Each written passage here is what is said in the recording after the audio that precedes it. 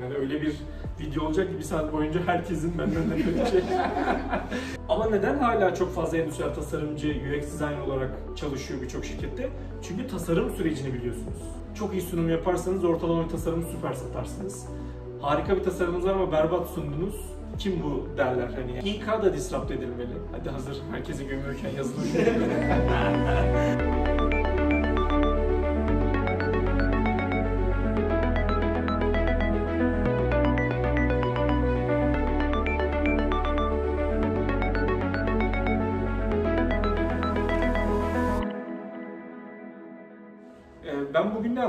Aslında birkaç tane e, şu dönemde deneyim tasarımıyla alakalı hazır sizde bu farkındalık varken de bir tık daha üzerine gidebileceğinizi düşündüğüm birkaç nokta var.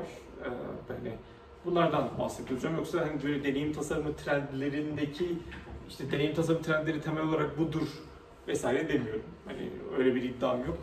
O biraz beni futurist de yapar. O yüzden şey de yapmak istemiyorum. Hani 2032'de Metaverse'e tasarlayacağız falan gibi böyle bir söylemim yok. Bilmiyorum. Ee, Bora çalışmadı da gibi duruyor değil mi Metaverse? Geçen Avrupa Birliği 400 bin euro para harcamış. Bir Metaverse partisi düzenlemiş ve 6 kişi gelmiş falan. Ki Facebook falan da şu an e, şey hani o durumda. E, o yüzden böyle geleceğe doğru tahminler yapmak da biraz tehlikeli e, biliyorsunuz. İşte bilgisayarla alakalı şey tahmini yapan birisi var. Ya bu bilgisayarlar eve girer mi emin değilim. İşte bundan sonra bulunacak başka patent yoktur bu dünyada falan diye bir arkadaşımızın tahmini var. Microsoft CEO'su Steve Ballmer'ın şeyi var. Tuşsuz bir telefona 500 dolar verilir mi diye bir tahmini var. iPhone'dan bahsediyor bu ara iPhone ilk çıkarken. Tuşu olmayan bir telefon diye tahmin biliniyordu. Ve bizim 200 dolara tuşlu telefonlarımız var. Yani diyordu. o yüzden hani böyle geleceği tahminlemek çok mümkün değil. Çoğu zaman sizi aptal konumuna düşürüyor hani. O yüzden hani Metaverse tutar tutmaz vesaire şeyde değil de hani hazır bu state'te hayatımızın bu aşamasında deneyim tasarımına da hazır yönelmişken birkaç noktadan bahsedebiliriz e, demek istiyorum. E, genelde bu ara e, az önce İsmail'le konuşuyorduk ya Mustafa'lar diye biliniyor olmaktan dolayı da böyle user spots'tan bahsedip kendimi biraz da geri çekme tarafındayım çoğu zaman. Hani e, şirket çünkü 3 kişiyken Mustafa'lar diye biliniyordu. 10 kişiyken Mustafa'lar diye 80 kişiyiz hala Mustafa'lar diye söylenebiliyor bazen. Ama ben şirketin son 2-3 yıl içerisindeki tasarımlarının, tasarım süreçlerine çok çok az dahilim. Biraz daha girişimci e, profildeyim. İşte Micro Creations adını verdiğimiz yapıyla beraber işin yapay zekasıyla, no koduyla vesaire uğraşan e, taraftayım. E, istatistik mezunu bu okuldan sonra da bilişim sistemleri de şey yaptım, yüksek lisans yaptım. E, şehir bölge planlamada okuyan arkadaşımdan dolayı da buradaki kantinlerde çok takıldım. Üniversitenin web sayfasını yapan ekipte çalışıyordum aslında ve webmaster olarak diyelim. Sonra da bir olaylar silsilesi beni UserSpot'u kurmaya itti. UserSpot UX alanında e, çalışıyor ve işte birçok bankanın e, ve bu bütün hani e, projelerdeki alanlarda mutlaka birçok araştırma yapmışızdır, birçok çalışma yapmışızdır, yapmaya da devam e, ediyoruzdur çok yaşayın. E, bugün dediğim gibi bir Design Ops kısmından bahsediyor olacağız. Bu tasarım ekiplerinin aslında artık tasarımın nasıl çıkıyor olduğunu, e, tasarım sürecinin nasıl daha verimli hale geleceği üzerine çalışmaya başlayan bir alan var. Biraz yapay zekadan bahsediyor olacağız. Hani e, şu sıralar yazılımcı arkadaşlar şeyler, e, çok gerginler. E, yapay zeka işimizi elimizden alır mı diye. E, bilmiyorum mesleklerine karşı e, bayağı hani mesleklerine karşı motivasyon sahipler diyeyim şimdi. Yazılımcı da karşımıza almıyor. Yani öyle bir video olacak ki bir saat boyunca herkesin benden nefret edecek, mimleneceği bir şey. Ama arkadaşlar mesela yapay zeka ilham alma noktasında sanki tasarımcıya çok destek verebilir bir konumda gibi duruyor şu an. Yani hani şu tasarımları bir işte ajans çıktısı olarak gidip sunsak çok büyük ihtimalle dayak yeriz birçok şekilde ama bir tasarımcı bir promptla buna benzer yüzlerce tasarımı görse mesela o tasarım sürecindeki ilhamı çok daha şey hale getirebilir gibi diyor. Biraz yapay zekadan bahsedeceğiz. Ee, bir de e, aslında no code'dan bahsediyor olacağız. Yani e, tasarım bu design ops'un da bahsettiği bir şeyi hayata geçirmenin geçirirken tasarım sürecinin, yazılım sürecinin bu sürecin ne kadar kanlı olması, ne kadar uğraştırıcı olmasından dolayı artık ee, şey vardı, Championship Manager eğer oynayan varsa girişinde bir şey yazar. Let's kick racism out of football. Yani şeyi futboldan çıkaralım, ırkçılığı diye. Biz de diyoruz ki arkadaşlar, let's kick developer out of design process. Yani hani tasarımcının hem tasarımcı hem de yazılımcı gibi çalışabileceği, kendi tasarlarken pat diye sayfayı oluşturup birçok şey yapabileceği bir dünya var artık. Yani ortaya bir ürün geliştirecekseniz bir developer'a ihtiyaç duymuyorsunuz. Güzel haber. Ha, güzel haber developerlar bize bize böyle dandik şeylerle gelmeyin diye bunu yapan developerlar aslında. Yani hani bir milyon kez web sayfası yapmaktan yılmış ya da bir milyon kez login sistemi şu an mesela dört tane 3 tane app dinledim ben. Siz 4 tane dinlediniz bugün. Dördünde de login sistemi var değil mi? Dördünde de login sistemini yazılımcı develop ediyor. Bundan yüzlerce yaptığını düşünün. Artık hani bir daha login sistemi develop edemeyecek şeye geliyor kendisi böyle el ayak titremeye başlıyor ve diyor ki ulan bunu kodsuz bir şekilde yapsalar mı acaba? Bugün konuşacağımız üç temel konu buydu. Şimdi design ops aslında çok çok geniş bir kavram gerçekten. Yani tasarım ekiplerini düşünün. Yani İsmail sen şu an DX'te daha belki garantiye nazaran daha şey bir ekiptesin, kompakt bir ekiptesin ama mesela garantiyi düşündüğümüz zaman işte Akbank'ın tasarım stüdyosu var. Hepsi buradanın Trendyol'un vesaire ekipleri var bir o kadar hatta tasarımcı yazılımcı ratio'sunda bir tasarımcıya 10 yazılımcı düşebiliyor. Hani 70 kişilik tasarım ekibi var, binlerce e, yazılımcı var derken bir iş sürecinin akmasıyla alakalı büyük problemler var tabii. Şimdi Design Ops arkadaşlar bu 9 başlığa odaklanan bir iş. Ama biz tabii bu 9 başlıktan biraz daha e, People Ops adını verdiğimiz kavramdan bugün bahsediyor olacağız. Yani ekipler nasıl kurulur, takımlar nasıl bir e, şey e, oluşturulur, takımda hangi roller vardır, işte researcher vardır, UX designer vardır, UI designer vardır, işte researcher kendi içerisinde ayrılır, e, UI designer ayrılabilir, frontendçi vardır vesaire gibi bir sürü şey var gerçekten, yapı var. E, insanları tabii işe alım süreciyle beraber bir takımın parçası haline getiriyorsunuz. İnsanlar mesela sunum ne kadar kritikse eğer hani sizin e, bölümde daha iyi puanlar alabilmen için. E, gerçek hayatta da gerçekten bunun bir karşılığı var yani. Çok iyi sunum yaparsanız ortalama bir tasarımı süper satarsınız. Harika bir tasarımınız var ama berbat sundunuz.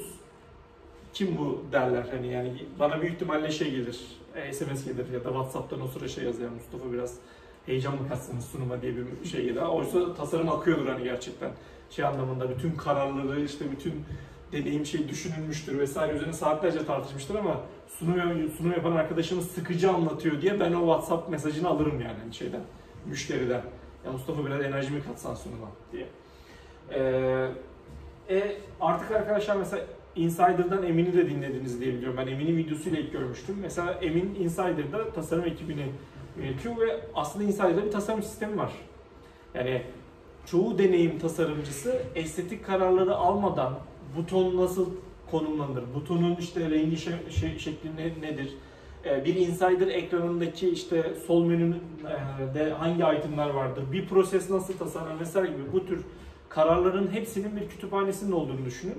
Ve tekrar tekrar o işi yapmaya gerek kalmadan aslında hızlıca siz böyle elementleri birleştirip yeni bir prosesi bütüncül bir şekilde tasarlayabiliyorsunuz artık tasarım sistemi bizim gibi ajansların müşterilerine sunamadığı bir şey. Genelde ürün ekiplerinin yaptığı. Mesela hepsi burada da bir tasarım sistemi var.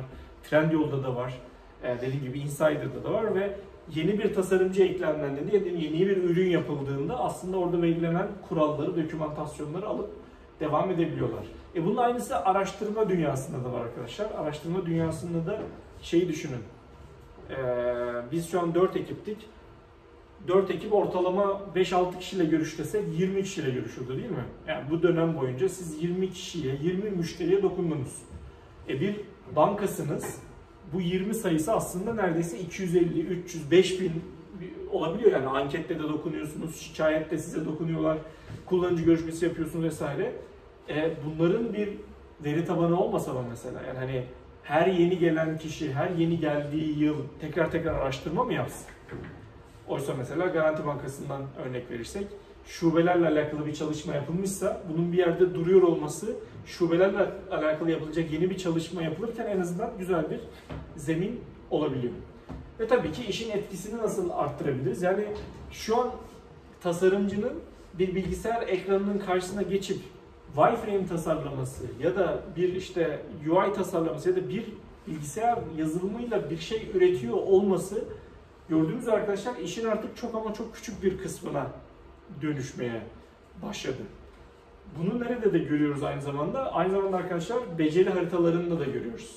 Şimdi People Ops dediğimiz, Design Ops'un alt maddesi olan People Ops dediğimiz konuda bize şunu söylüyor. Ki ekiplerin her kişiyi bu şekilde haritalandırırız. Bakın bu Norman Nielsen grubun UX denince kaynak anlamında çok aktif olan bir grubun sekizlisi. Pardon altılı burada ama onların sekizli bir e, şey var. Diyor işte araştırma, etkileşim tasarımı, bilgi mimarisi, görsel tasarım, prototipleme, içerik stratejisi. Üç tane daha madde vardı. Fasilitasyon, e, sunum yapma, bir şey daha, daha böyle soft skill'lerin oldu ve siz orada kendinizi birden beşe kadar değerlendiriyorsunuz aslında. Ya bunu yaparken tabii belli skalalar var. Sonra bu birden beşe değerlendirmeler bir takımda A oyuncusu var, B oyuncusu var, C oyuncusu var, D oyuncusu var derken bunlar birleşiyorlar ve diyorsunuz ki ha bak bizim takımın gap'i görsel tasarımda ya da bizim takımın gap'i sunum yapmada, bizim takımın gap'i workshop yapmada. Şimdi bu haritalar hem bir takımın total haritasını oluşturmak anlamında iyi hem de aslında bize hangi alanlarda e, odaklanmamız gerektiğini göstermek anlamında değil. Şu an UX design iş ilanlarına bakınca arkadaşlar size ne hissettiriyor bu ilanlar ya da bakan varsa aramızda? Şey düşünüyor musunuz? Lan Robocop arıyorlar bunlar. Yani hani HTML bilsin, şunu yapsın vesaire. Şimdi arkadaşlar o ilanlar İK da disrupt edilmeli. Hadi hazır herkesi gömüyorken yazılımcı yazılımcıları gömüyorken yani insan kaynakları içinde insan olup da bu kadar insan odaksız olan bir organizasyon gerçekten. Arkadaşlar insan kaynaklarında iş ilanları şöyle yapılıyor. Şimdi e, burada şey yapalım farz edelim Mustafa bir kurumda tasarım ekibinin başında birisi olsun. Mustafa İK'ya diyor ki ya bize bir işte user researcher lazım. Tamam diyor işte İK o, o zaman bize bir iş ilanı işte görev tanımı falan yaz diyor. Şimdi bu tasarım ekibinin başındaki arkadaşımızın bin bir tane işi olduğu için diyor ki İK'ya sen bir şeyler yaz, ben de onun üzerinden yorum yapayım diyor. Şimdi bu İK'cı arkadaşımız da gidiyor LinkedIn'e ya da kariyer.net'e ya da şeye alıyor bütün o UX Research'ın ilanlarını, onlardan bir kombinasyon yapıyor. Ve sonrasında işte diyor ki şeye ilan budur, okey midir? O da tabii ki çok üstün körü bakıp iyi okey bak şunu çıkar, şunu ekle vesaire dediği noktada o ilanlar arkadaşlar birbirlerine benzeye benzeye benzeye içinde aslında sahip olmaman yani sahip olmanıza o kadar da gerek olmayan yüzlerce özelliğin olduğu bir şeye dönüşüyor. Yani ilanların %20'sini cover ediyorsak okey. %20'sini cover ettik, %40'ına ulaşabileceğimizi hissettirdik hala okey. Hatta bayağı okey yani. Hani, o yüzden ilanlara bakılan ne kadar çok şey öğrenmemiz lazım diye düşünüyor olmak ee, çok çok anlamlı değil gerçekten e, hala HTML, CSS bilen tasarımcı arayanlar var. Ben eminim ya bazen arkadaşım mesela şey diyorum HTML CSS yazıyorsunuz iş ilanında farkında mısınız diyorum. Evet abi öyle yazıyoruz ama bakıyoruz işte gelenlere falan diyor. Hani.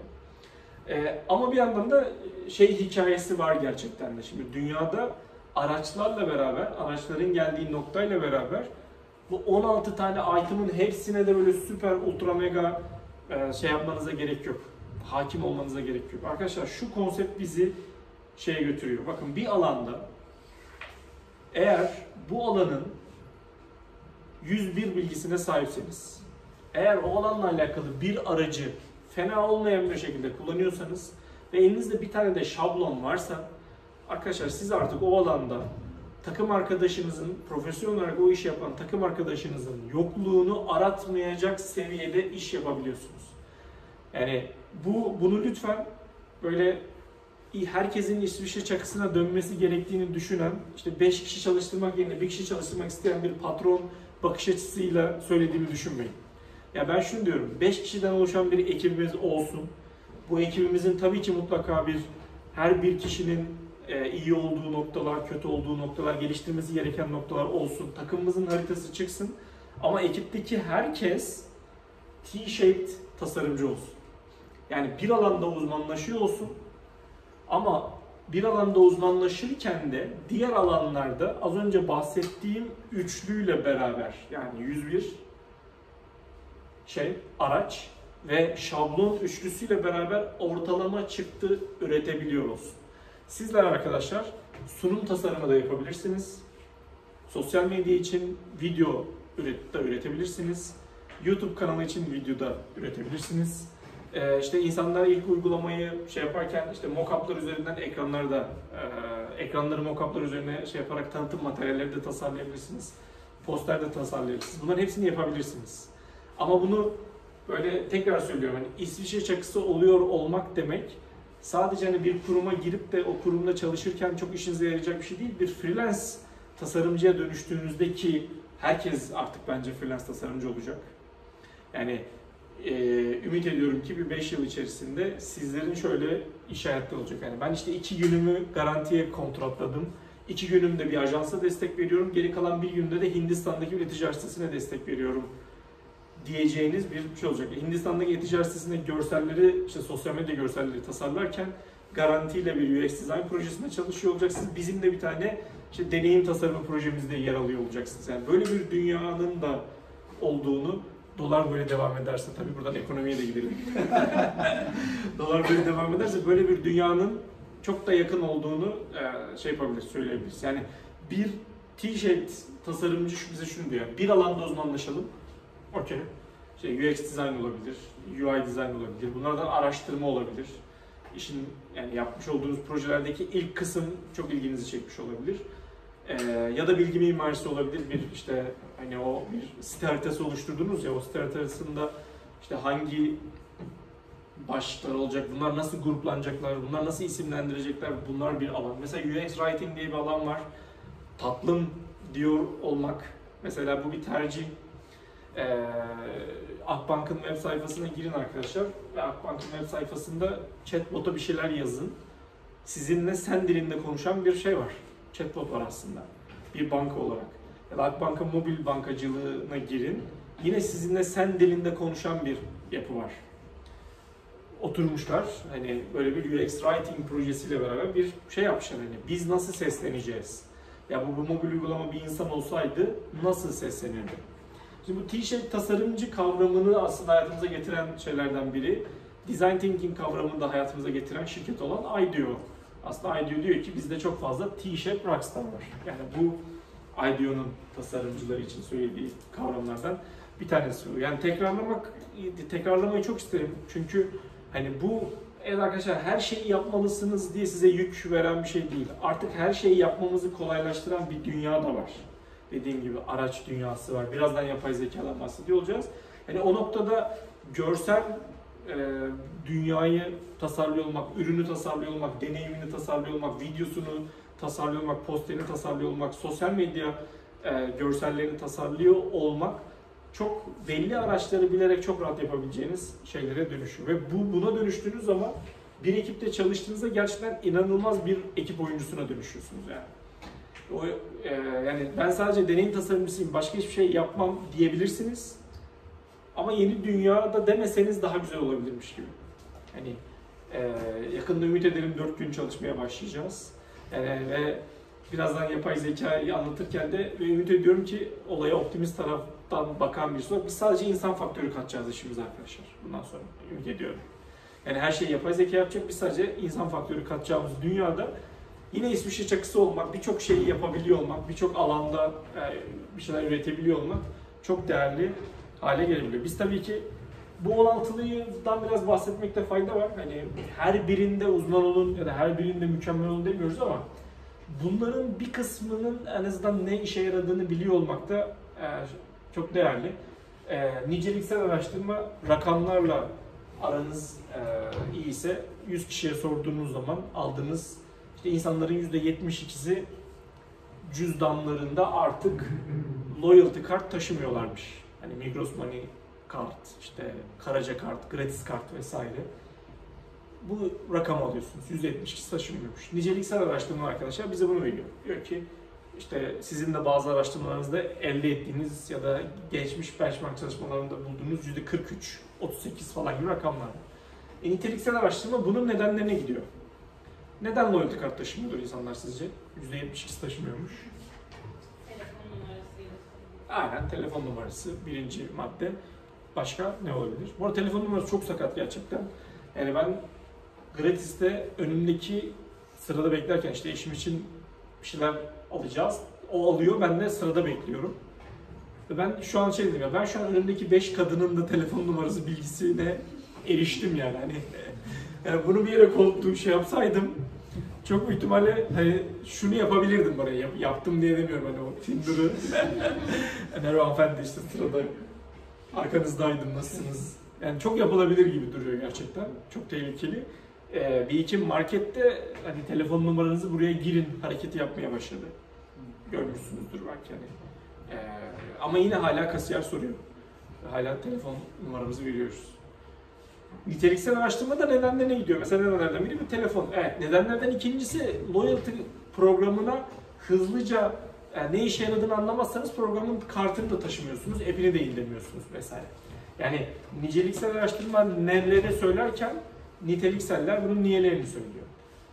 Araştırmayı, araştırma arkadaşlar devasa bir veri toplama işi. Gerçekten bir şey vardır ya, bir e, dedektifin arkasında böyle bir mantar pano vardır.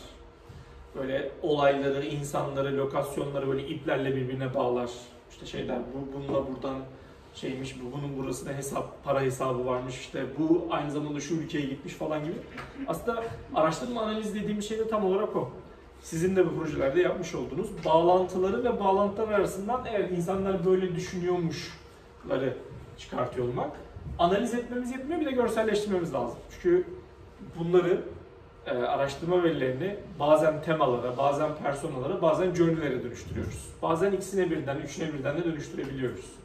E, yani görselleştirmek de bütün ekibin e, aynı anda aynı yere bakmasını sağlıyor gerçekten. Yani mesela biz bir bankayla şey çalışması yaptık. Kredi kartı ekstresini insanlar nasıl okurlar?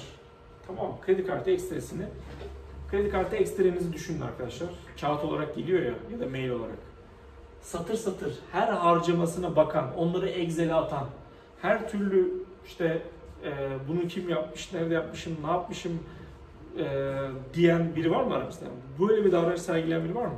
Genelde babam, annem falan işte deniyor. Anne baba mı? Babam. Evet babanız. Başka var mı? Babası bütün alışveriş. Bütün alışveriş sliplerini biriktiren. Babam Ne yapıyor? hepsini inceliyor. Hepsini inceliyor. Çok güzel. Mesela babanızdan asla kaçmıyor yani 99'luk bir alışveriş. Şimdi gerçekten bu bir persona, bu bir davranış. Satır satırcılar. Her satıra bakıyorlar. Yani 50 bin liralık kredi kartı olan da bunu yapabiliyor. 300 liralık kredi kartı olan da bunu yapabiliyor. Şimdi bu görselleştirmenin bize sağlayacağı şey şu. Biz bu personayı görselleştirip bak böyle bir insan var. Bu insanların sayısı az ama çağrı merkezini bunlar patlatıyor diye yazılımcıya anlatıp da onun kafasına girebilirsek o zaman şeyi daha rahat ikna ediyoruz. Gel bak her post yazının enlem boylam bilgisini buraya basalım. Alışverişi haritada göster diye bir şey yapalım. Çünkü ne yapıyor babanız? Ay sonunda bakıyor diyor ki 99 liralık tap gıda bilmem ne bilmem ne alışverişi var.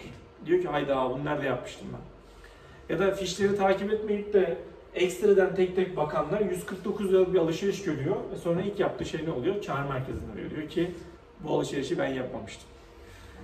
Sonra diyor ki beyefendi orası Burger King. yani hani tap gıda bilmem ne bilmem ne yazıyor ama ya çünkü bazı alışverişlerinizde şey gerçekten işte turizmle, TT, ŞT'yi falan diye böyle saçma sapan yerler var. Şimdi yazılımcıyı ona ikna etmenizi daha da güçlü bir şekilde sağlayacak şey araştırmayı görselleştirebiliyor olmanız. O personayı karşı tarafa bak böyle bir insan var bu insan çağrı merkezinde patlatmasın diye her transaction'ın detayını bu insana vermemiz lazımı anlatmamız lazım. Yani araştırma bizi bunu söyledi. Okey yetmez.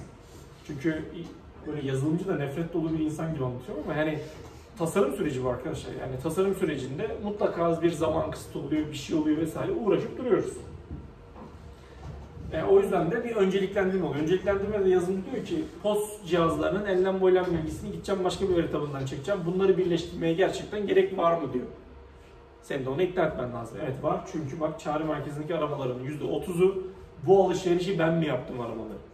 Eğer ben bu adamlara bir ekstra versem, ekran versem, saat kaçta yapmış, işte e, hangi dünyada hangi lokasyonda yapmış bu bilgiyi versem bunlar aramayacak ya da bir kısmı aramayacak dediğiniz zaman diyor ki ha tamam okey yapalım.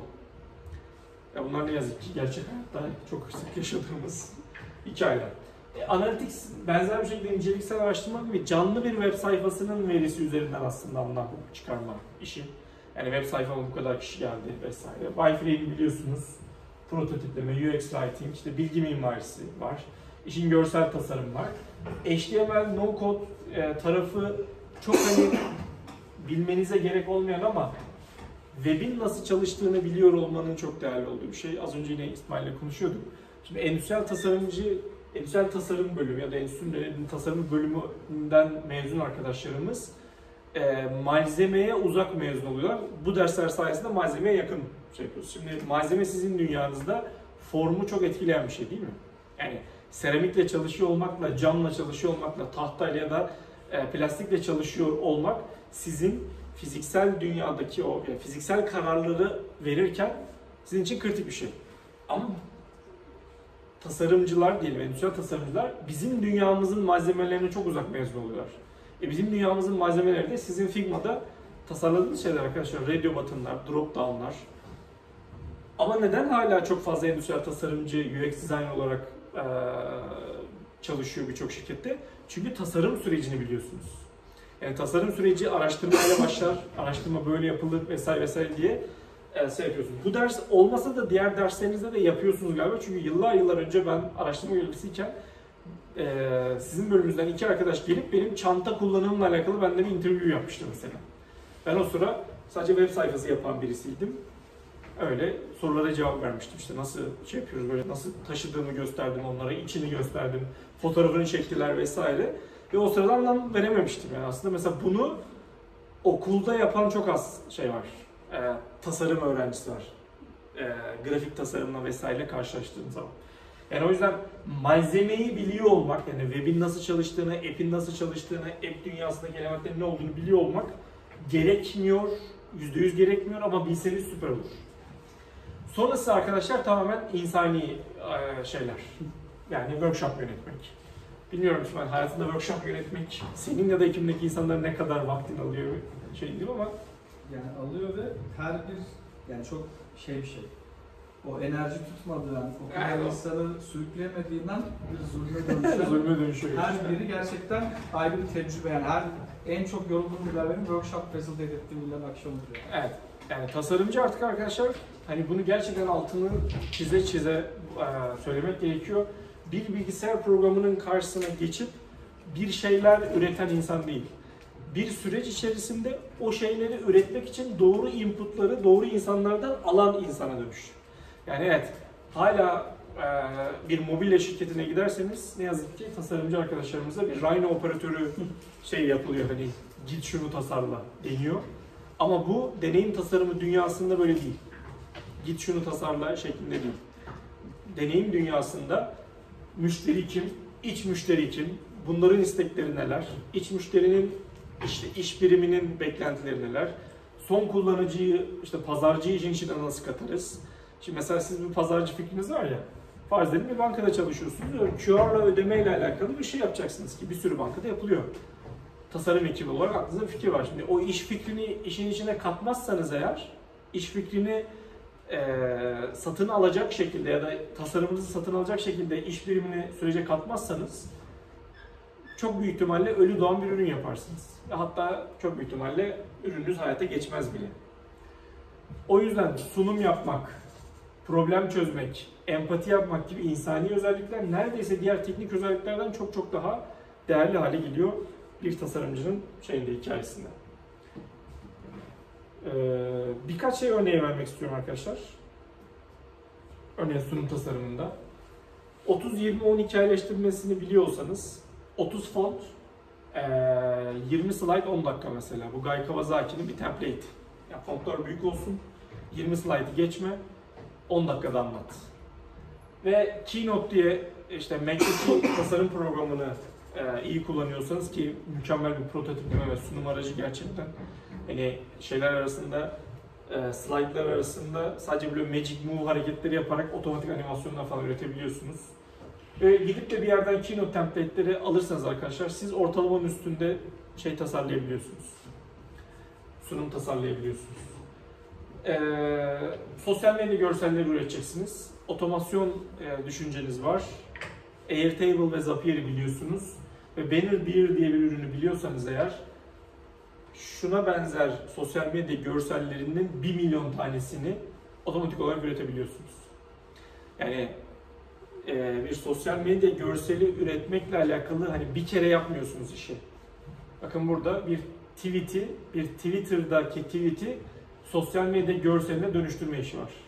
Gidiyorsunuz Excel gibi bir tool var Airtable. Sadece Twitter'ın linkini, tweet'in linkini yazıyorsunuz. İşte ismini yazıyorsunuz Elon Musk. Tweet'in kendisini yazıyorsunuz. Sonra Banner 1'e gelip e, şu kolonu şuraya koy, şuradaki görseli buraya koy, bunu da buraya koy dedikten sonra export diyorsunuz ve 1 milyon tane bu görselden oluşturabiliyor.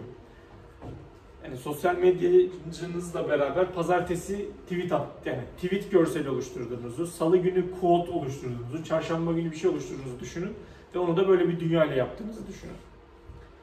Yani bu işte bu mantığı oturttuktan sonra sizin için bir şeyi üretebiliyor olmak ya da sosyal medya görsel üreticisi oluyor olmak çok basit aslında gerçekten. Yani ya bunun gibi bir, bir yüzlerce kez konuşabiliriz arkadaşlar. Yani dediğim gibi bir şeyin yüz birini bilmek, freelance'siniz, fiyatlandırma şey yapmak istiyorsunuz. Notion'ı aktif kullanıyorsanız, Notion'ın e, Notion'da bir teklif template'i var. Onu alıp bir de fiyatlandırmayla alakalı bir video izleseniz artık freelance işlerinizde kazıklanmayacak şekilde ve son derece profesyonel gözükecek teklif dokümanlarını hazırlayabiliyorsunuz. Yani e, bu işte bu dediğim T-shape tasarımcı dünyasının e, artık bize e, sağladığı şey ve buradaki hani araç diyorum ya bu 101 araç ve şey araçlar arkadaşlar yapay zeka ile beraber çıldırmaya başladılar. Yani çıldırmak derken bunu literally çıldırmak yani diyorum çünkü her gün e, şeyle alakalı işte Dolly'dir, e, OpenAI'dir, Midjourney'dir, işte Stable Diffusion'dır vesaire her gün yeni bir ürünle insanlar girişimciliklerine girişim katıyor. E, ürünlerine yeni özellikler katıyor. Örneğin en sonki şey Lensa. 5 dolar bilmiyorum verdiniz mi 90 lira. Aslında Lensa'nın yaptığı şey arkadaşlar Stable Diffusion diye bir işte görsel üretme dünyası var. Onun da üzerine Dream Boot diye e, görseller vererek kendi yüzünüzü, kendi bir ayakkabıyı, bir arabayı eğittiğiniz bir şey var. Önce eğitiyorsunuz kendinizin 15 tane fotoğrafını vererek ve sonrasında gelip prompt yazıp diyorsunuz ki bu ayakkabıyı bir basketbol topu ve yanında bir işte insan olacak şekilde bir fotoğrafa dönüştür. Şu bu arada kötü bir ayak. Şuradaki de kötü bir ayak bu arada. Güzel ayaklar değil bunlar. Ama ben bu görselleri arkadaşlar şu ayakkabının 15 tane fotoğrafını train ettirdikten sonra prompt yazarak yaptım. En ufak bir şey tasarlamadım. Yani sisteme girdim ve dedim ki ayakkabıyı güzel bir arka planla göster. Ayakkabıyı toprak zeminde göster. Ayakkabıyı işte 5-10 kişi bir takım halinde giymiş gibi göster.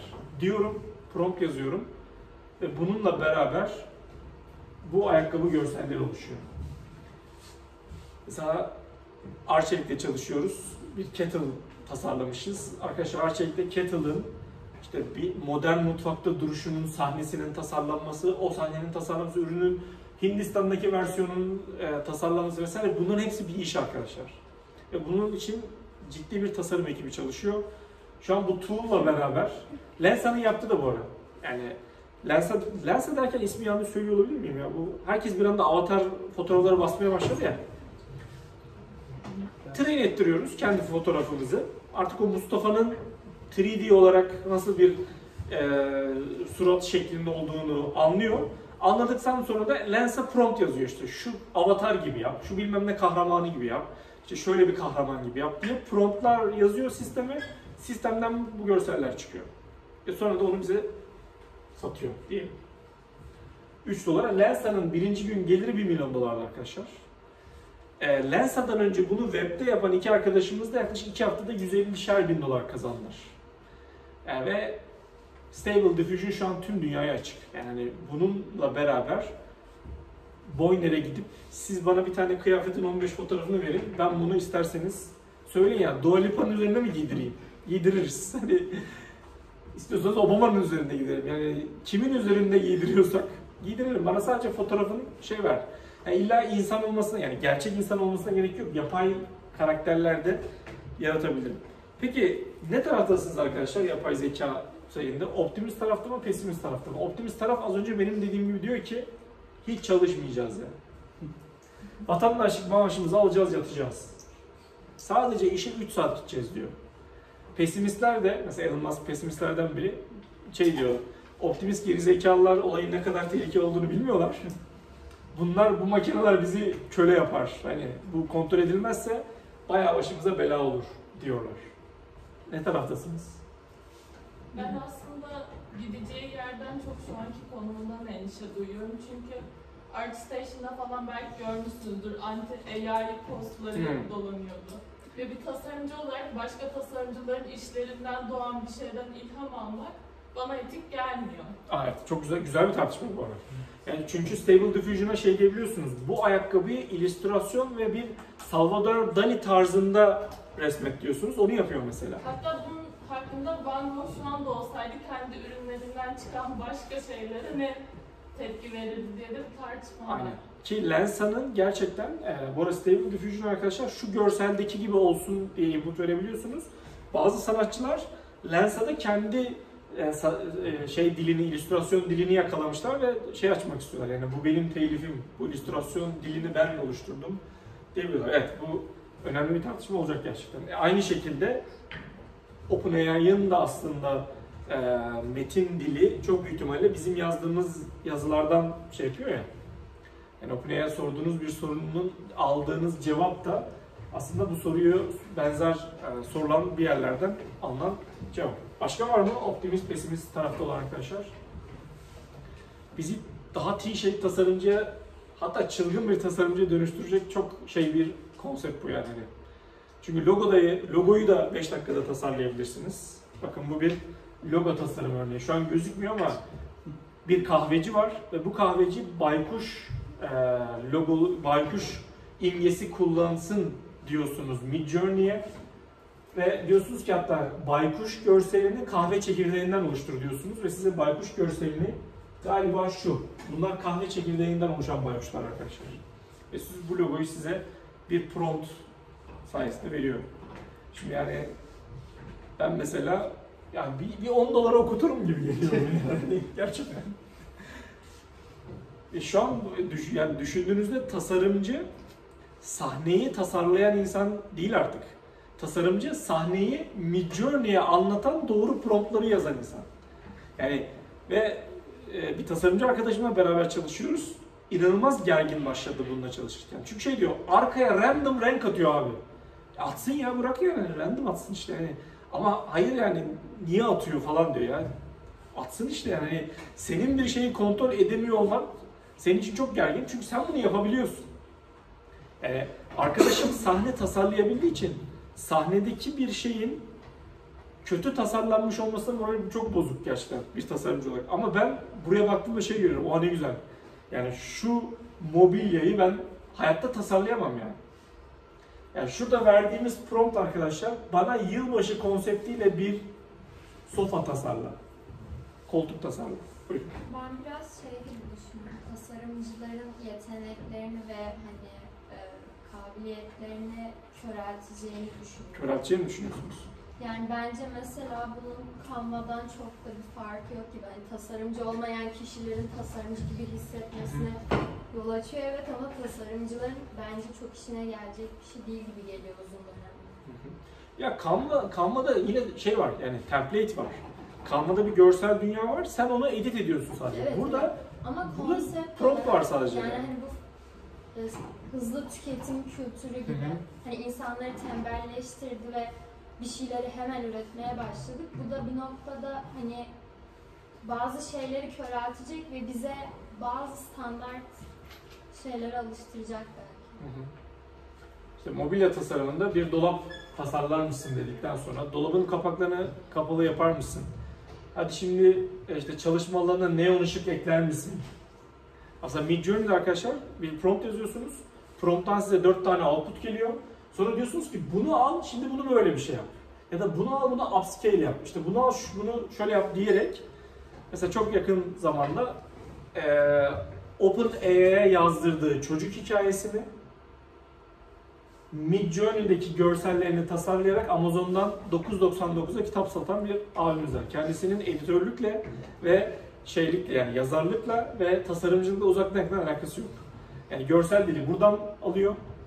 Şey yazıyor çünkü buraya gelip bir kız çocuğuyla beraber işte el ele tutuşup yürüyen ayı fotoğrafı. Şu illüstrasyon tarzında olsun diyor. Hikaye bulmasına gerek yok çünkü hikayeyi OpenAI'ya yazdık. Gerçekten ben şey diye sordum. İşte kızıma bir gece şey yatmadan önce heyecan verici bir hikaye anlatmak istiyorum. Önerin ne olur dedim. Dört tane hikaye önerisi getirdim. Tamam dedim birinci hikayeyi seçiyorum. Biraz detaylandırır mısın? Oturdu detaylandırdı hikaye yazdım. Saat bir şey diyecektik yani.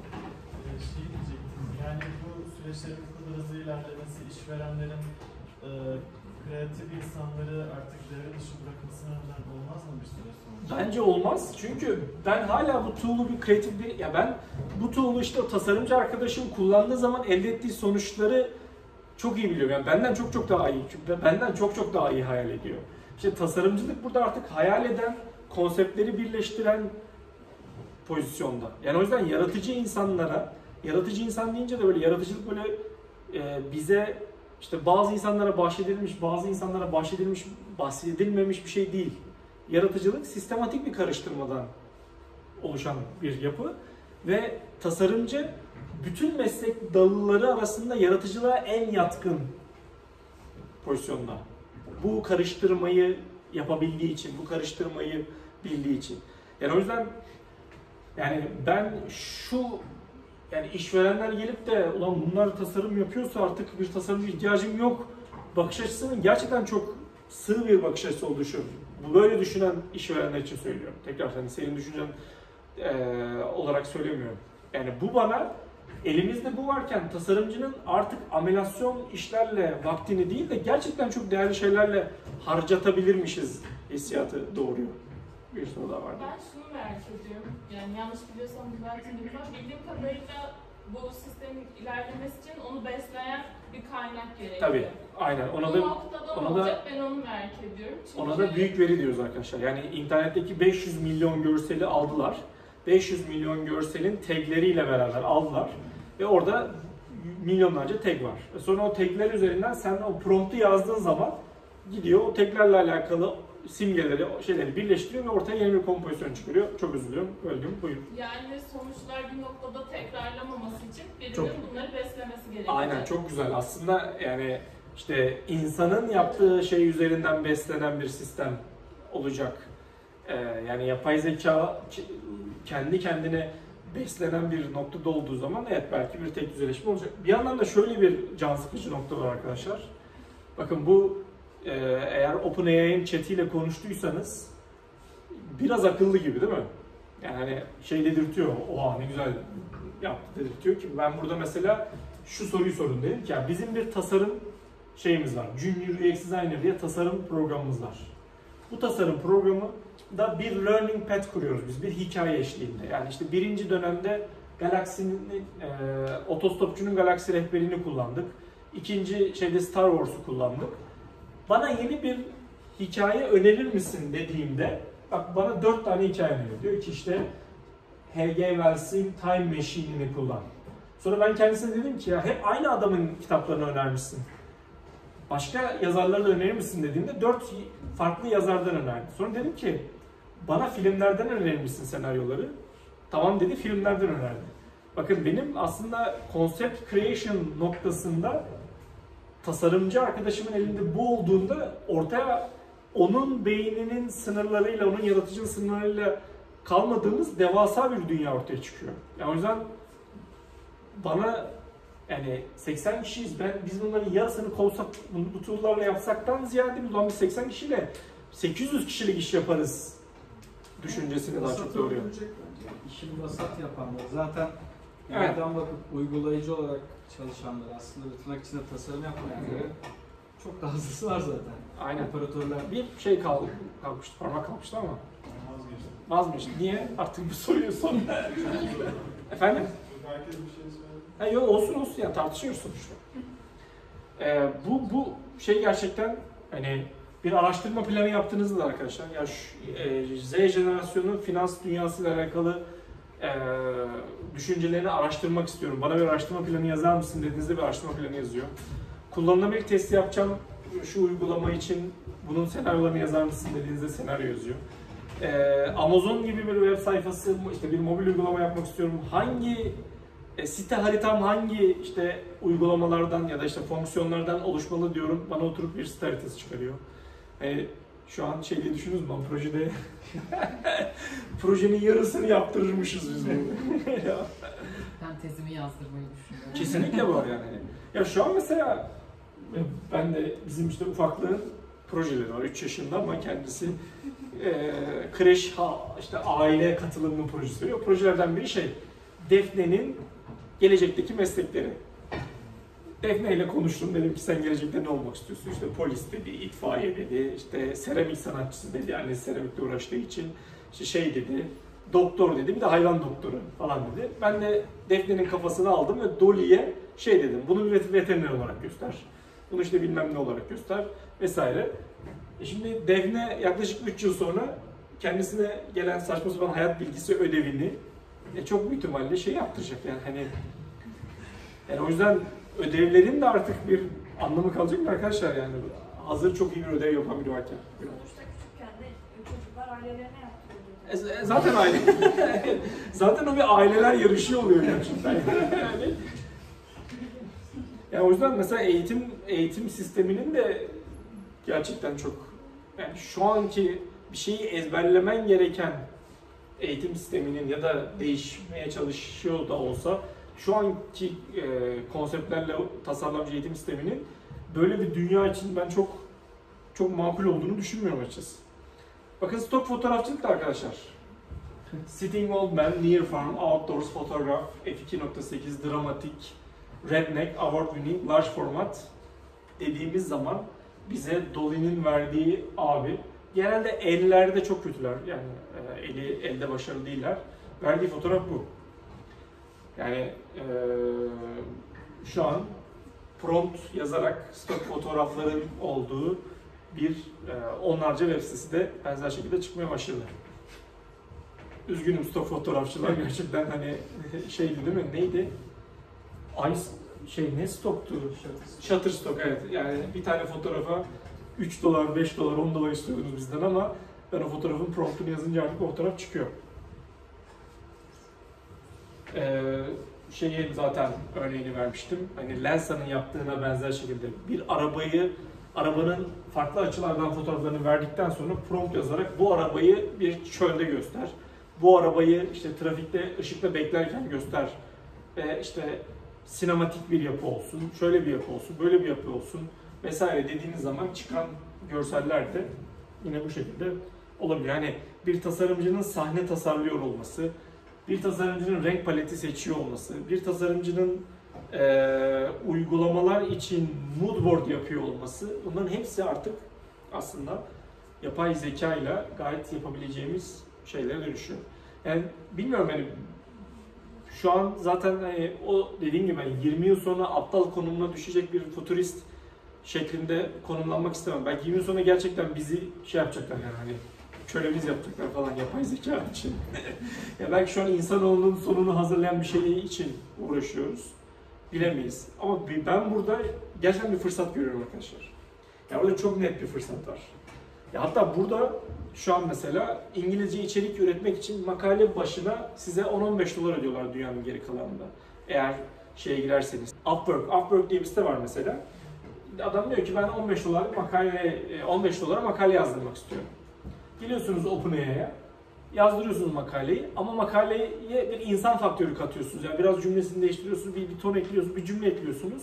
Yaklaşık 3 dakika uğraştığınız bir şeyle alakalı artık 15 dolar kazanabiliyorsunuz. Yani sadece ticari anlamda değil, üretim sürecinin çok önemli bir kısmında bana sanki e, büyük fırsatlar barındıran bir şey varmış gibi geliyor. Yaratıcılıkla alakalı şeyden de bahsetmek isterim. Netflix'te Explained diye bir belgesel var. Onun creativity bölümünü arkadaşlar seyretmelisiniz. Lütfen seyredin. Yani o sistematik karıştırmayı çok net bir şekilde o bölümde görüyoruz yani. İşte şey teaser vermek gibi olmasın da ya bir albümün çıkış sürecini anlatıyorlar. 1970'lerde çok iyi bir performans göstermiş bir müzik grubunun bir albüm var. Albümün eee hit şarkısı, hit parçası işte African rock tarzında ve sözleri böyle şey, gerçekten abucuk bugucuk sözler böyle hani eee, şey söylenebilir ama anlamı olmayan sözlerden oluşuyor. Ve çıkış şekli şöyle, gerçekten bir gün prodüktör gidip random plak bakarken bir Afrika müzikleri diye bölüm görüyor.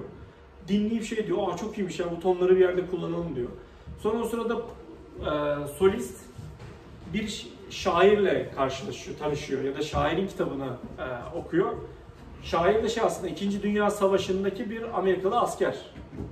Ve savaşın anlamsızlığını anlatamadığı için gerçekten sözler böyle agucuk bugucuk falan şeklinde. Yani hani ben burada yaşadıklarımı o kadar kelimeye dökemiyorum ki o yüzden böyle şeyler yazdım diye koskocaman bir şiir kitabı yazıyor kendisi. Ama şiir kitabında hiç anlamlı bir şey yok. Böyle bir konsept var. Şimdi Afrikan müziği aldık, buradaki sözleri aldık, ikisini birleştirdik, ortaya bir şey çıktı. Yani bu bizim konsept fikir ararken, yani tasarım öğretmek için bir hikaye oluşturmada şu hikayeyi aldık. Midjourney'den gittik, bunu Midjourney'e yazdık, bize bir dünya önerir misin dedik, oradan bir dünyayı aldık. O karakterleri geliştirdik ve ortaya süper über yaratıcı bir şey çıktı. Yani o yüzden ben daha çok yaratıcılığımızı besleyen bir noktada olacakmış gibi düşünüyorum. Ama tabii şey, yani tartışılır. Son olarak da arkadaşlar bir de şey konseptinden bahsetmek istiyorum. Eğer şu an gerçekten dördüncü sınıf tasarım öğrencisi olsaydım vaktimin önemli bir kısmını harcayacağım şeylerden biri de aslında no-code araçlar olurdu. Yani e, Webflow diye bir araç var arkadaşlar. Webflow aracı ile siz bir tasarımcı olarak yarım saattir gömdüğümüz yazılımcılara ihtiyaç duymadan inanılmaz fonksiyonelitede web sayfaları yapabiliyorsunuz. Bunun Bubble versiyonuyla beraber işte sayfayı tasarladınız. Şu an hani birçok etkileşim var ya sayfalarınızda. İşte üç adımdan oluşan, işte birinci adımda şu bilgileri alıyorsunuz, ikinci adımda bu bilgileri alıyorsunuz. Bubble versiyonuyla yani Webflow bir ürün, Bubble da başka bir ürün. Bu şekilde app'ler yapabiliyorsunuz. Ve bunları yapmak için sadece if this then that mantığına ya da drag and drop mantığına hakim olmanız yeterli. Webflow böyle drag and drop tool değil. Bunda yani yanlış olmasın. Aslında Webflow sizin bir ekran karşısında Figma'da tasarladığınız objeleri aynı şekilde gözüksün diye sen buton sağda dur, Metin sen onun yanına gel, işte mobilde aranızda şöyle şeyler olsun gibi kararları verdiğiniz bir tool. O kararları veriyorsunuz, publish'e basıyorsunuz ve web sitesi canlı hale geliyor. O kararları verirken mesela travel projesinde journal'lar var değil mi? Şimdi Webflow'u biliyorsunuz diyorsunuz ki benim journal diye bir içerik sistemim var. Journal'ın ismi var, creator'ı var, lokasyonu var, açıklaması var vesaire diye böyle journal'ın e, alt başlıklarını oluşturuyorsunuz. Sonra geliyorsunuz sayfaya. Ey journal'ın başlığı sen burada dur. İşte like sayısı sen burada dur. Title sen burada dur. İşte journal oluşturan sen burada dur diye bir kere seçiyorsunuz. Bir kere template sayfasını yapıyorsunuz. Veri tabanında 500 tane journal'ınız varsa arkadaşlar 500 tane sayfa oluşuyor otomatik olarak. Yani oradaki hikaye şu. Bakın solda collection'ınız var. Sağda ise Webflow'da şu veri burada gözüksün, bu veri burada gözüksün kararını alıyorsunuz sadece. Bu kararları aldıktan sonra dediğim gibi veri tabanında kaç tane sayfanız varsa, kaç tane e, ilgili içeriğiniz varsa, mesela blog içeri düşünün. 500 tane blog yazınız var. Blogun nesi vardır? Blog yazısının bir açıklaması vardır değil mi? Bir metni vardır vesaire. Ve veri tabanına onları giriyorsunuz. Sonra da Webflow'a gelip başlık burada gözüksün, açıklama burada gözüksün, işte bilmem ne burada gözüksün diyorsunuz. Publish'e bastıktan sonra veri tabanınızdaki 500 blog yazısının sayfası otomatikman oluşuyor. Tasarımcıya, şey, yazılımcıya ihtiyaç duymadı. Tasarımcı hala ihtiyacımız var çünkü güzel gözükmesi lazım. İyi gözükmesi lazım ve deneyim kararlarını düşünmesi lazım. Bu da arkadaşlar neden kritik? Çünkü devasa bir rekabet dünyası içerisindeyiz. Yani hani eee, şu an hepsi buradayı düşünün, Trendyol düşünün, N11'i düşünün, Getiri düşünün. Bunların hepsinin backlog'da milyonlarca yapacağı şey var. Gerçekten hepsi buradanın backlog'una bakalım 1 milyon item vardır. Trendyol'unkine bakalım 2 milyon vardır. Hangisinin daha başarılı olduğunu gösterecek olan şey doğru fonksiyonu gerçekten ihtiyaç duyulan fonksiyonu daha erken, rakibinden daha erken yapan şirket daha başarılı oluyor. yani. Bu tarz hızlandırma araçları bizim test etmemizi de kolaylaştırıyor. Şimdi bir şeysiniz, diyetisyensiniz, web sayfası yapmak ya da işte internetten kendi diyet, bir tane bir diyet sistemi oluşturdunuz ve bunu satıp satmayacağını merak ediyorsunuz tamam mı? Webflow'a bile ihtiyacınız yok. Giriyorsunuz arkadaşlar Wix'e. Wix çok berbat reklamlar olan bir şey var ya platform. Wix'e giriyorsunuz Wix'e. Web sayfanızı oluşturuyorsunuz. Aynı zamanda web sayfasını oluşturma yanında takviminizi bağlıyorsunuz oraya. Diyorsunuz ki saatliğim 400 TL'dir. Şu saatlerimde boştur.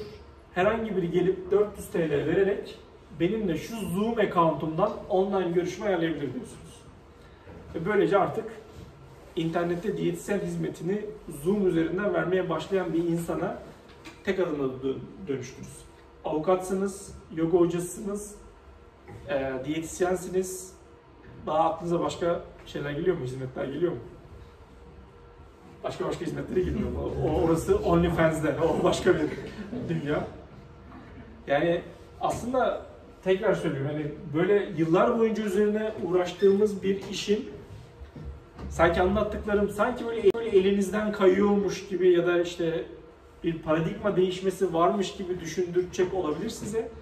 Ama ben daha çok burada bir şey görüyorum, fırsat görüyorum. Çünkü tekrar eden işleri öldürmeye çalışıyoruz arkadaşlar. Tasarımdaki işlerin önemli bir kısmı tekrar ediyor ama tekrar etmeyen bir kısım var. İnsan faktörü. Yani o iki konsepti birleştiren insan faktörü. Yani o yüzden eee, bir tane web sayfası var. AI benim işimi alacak mı diye. Tasarımcı ya da işte deneyim tasarımcısı yazdığınız zaman ya da ürün tasarımcısı yazdığınız zaman şey oranı daha düşük. Yani AI sizin işinizi alamaz. Yani o yüzden rahat olabilirsiniz gerçekten. Hani. Bir de şu var zaten yani eğer bizim işimizi alacak kadar kötü çalışıyorsak alsın zaten yani.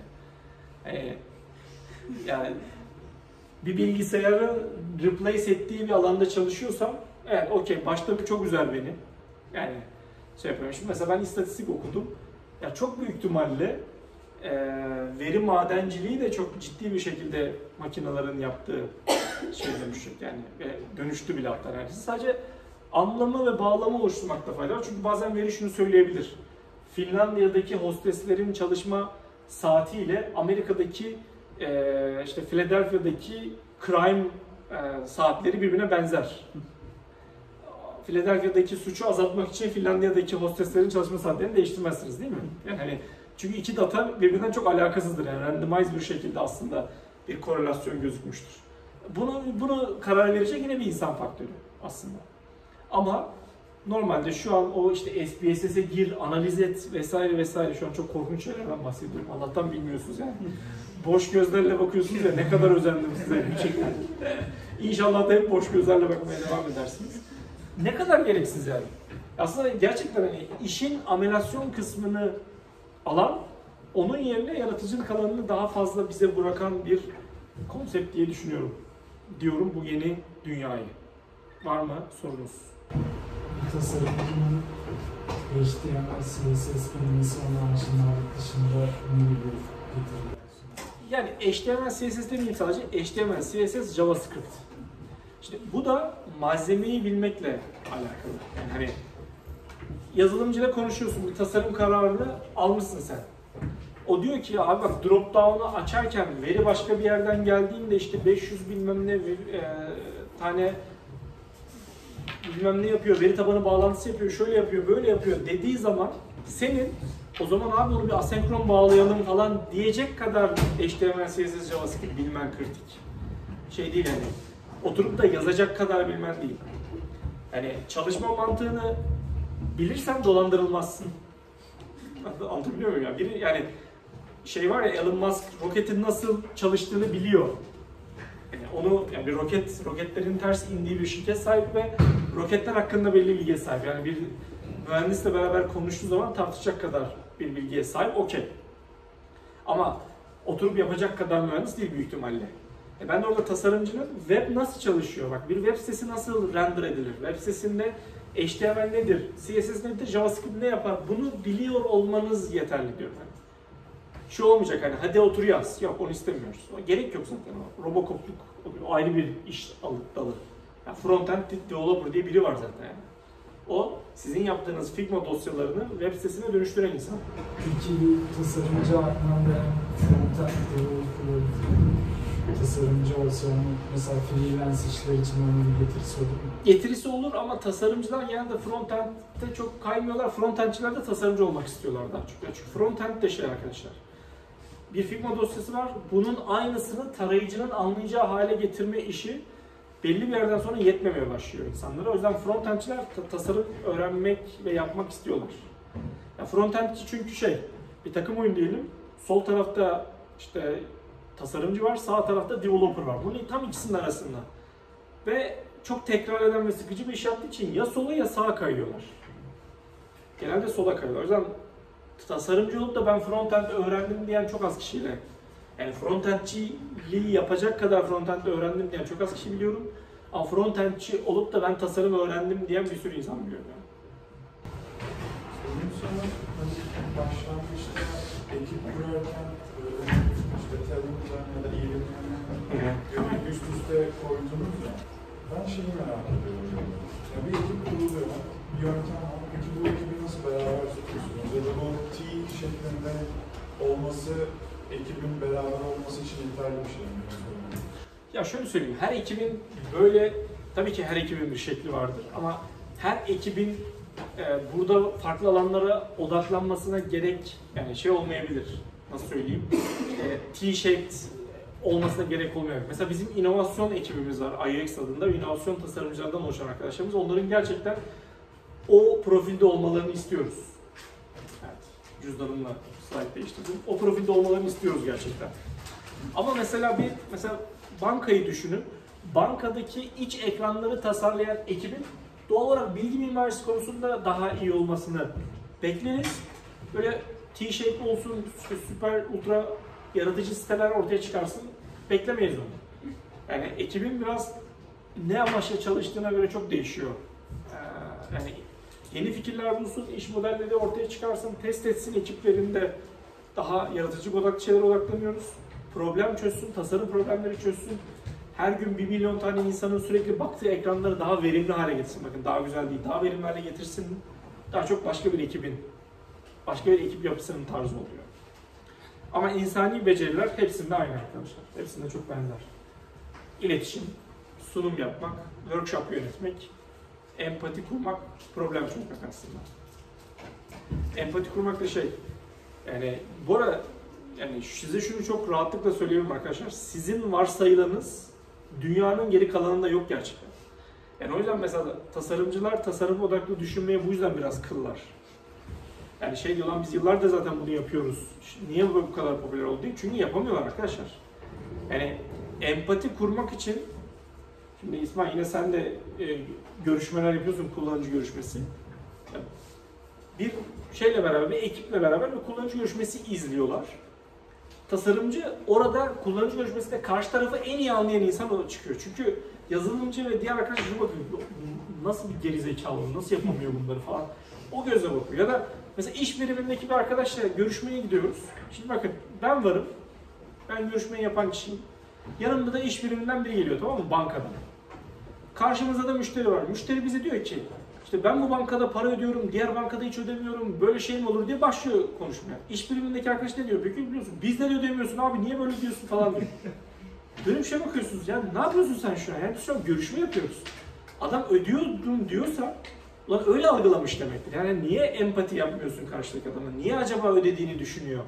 Ya bak hayır öde, ödemiyor ya, yalan söylüyor ya falan. Çıktı da çıkışta hala şey modunda yalan söylüyor ya. Benim orada yaptığım iş işi kötülüyor falan diyor. yani. Biz burada bu adamı anlamaya çalışıyoruz. Bakın bu özellik tasarımcılarda, hayatında empati olan tasarımcılarda ve sosyal bilimlerde aslında yine e, işte sosyolog ya da psikologlarda default varsayılan olarak var. Bilgisayar mühendisliğinde yok, istatistikçilerde yok, yok yani hani. O yüzden sizin bir probleme yaklaşım şekliniz unik aslında. Ve dünya artık bu şekilde yaklaş, yaklaşmak istiyor problemlere. O yüzden tasarım odaklı düşünme çok popüler oldu. Yani o yüzden şu an tasarım çok çok daha şey popüler bir meslek. Yani workshop yaparken falan aslında sadece kullanıcı empati değil, oradaki mühendise, iş bölümüne, o proje sürecinde insanlarla yaptığın için oradaki ilişkileri falan da sen empati edip bir, bir şekilde köprü oluyorsun içeri. Şirketin içindeki empati de sende yani, bütün ekibi yönetmek için bir şey. Evet çünkü bu dediğime benzer saçma çıkarımları yapıyorlar yani. Hani işte kullanıcı şöyle dedi, kullanıcı böyle. Ya bir banka ile şey e, görüşmesi yapıyorduk. İşte finans dünyası, şey e, yatırım dünyası ile alakalı ve genel müdür yardımcısı beyefendi şey dedi ya "Ge- biz bunu yaparsak bizi tefe koyarlar. Ya, geçen bir müşterimiz geldi ve donunu fırlattı ge- genel müdürlere. Yani düşünsenize donumu da mı al- alacaksınız alın lan diyerek müşteri böyle bir şey yapmış. Şimdi bakın bir tasarımcı için bu outlier'dır arkadaşlar. Yani 10 kişiyle görüşürseniz donunu fırlatan bir müşteri bakın size donunu fırlatıyor. Bu burada güven problemi var diye raporlamayız bile. Niye? Çünkü biz görüşme yaptığımızda cümleleri alıyoruz, aralarındaki bağlantıları ve örüntüleri çıkarıyoruz ya. Yani bir unik olay yaşayıp onu da gündelik hayatımızın parçası haline getirmiyoruz. Yani o yüzden bu, bu düşünce şekli sizin sahip olduğunuz ve dünyanın geri kalanının çok da sahip olmadığı bir şey aslında yani. Ya bu söylediğini ben de çok yaşıyorum. Ekstrem case'leri standartlaştırıyor olmak yani. Ve o inovasyonu engelliyor. Yani diyor ki Evet. onu mümkün değil yapamayız diyor. Ona diyor kaç kadar. Niye diyorsun? 3 yıl önce bir olay yaşanmış. Evet bir tane bir tane bir de yani. Onunla tane. alakalı ve o senin o şey olmuş, şehir efsanesi, gibi. Evet zannediyorlar ki insanlar böyle çantalarında donla gezip böyle dur gidelim bankanın genel müdürünü de fırlatalım.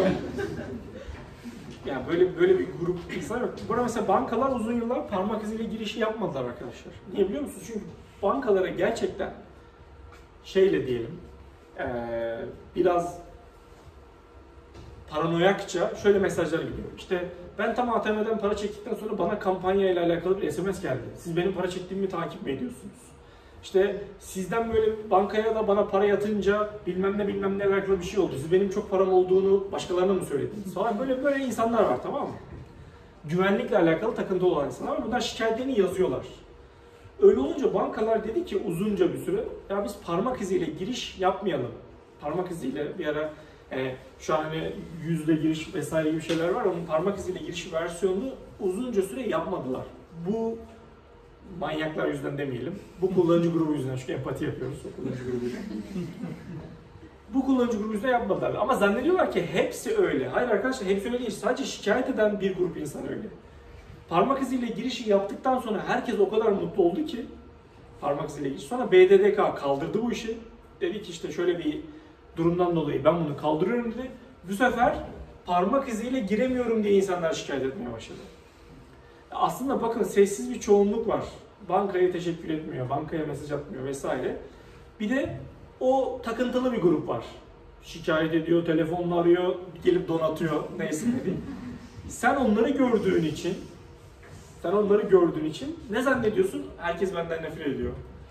Yani genel müdürlüğümüzü gelip yakacaklar, bizi bıçaklayacaklar zannediyorsun. Oysa dataya daha hani mutlulara da bakalım, normallere de bakalım, mutsuzlara da bakalım diye daha yukarıdan bakabilen bir anlayış olsa diyecekler ki evet böyle de müşterimiz var ama bir de böyle sessiz kendi hayatını devam eden bir grup insan da var diyecekler.